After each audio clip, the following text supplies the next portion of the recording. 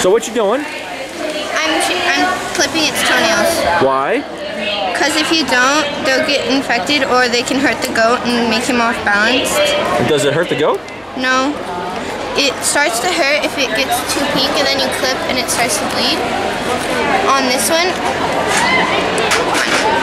on this one, on this one it started to get pink so I left it. You kind of double check them to make sure that if it's just like them having blood there or but if it does have pink there that means the blood is there and then if you cut too deep that'll make it to start bleed that'll start it to bleed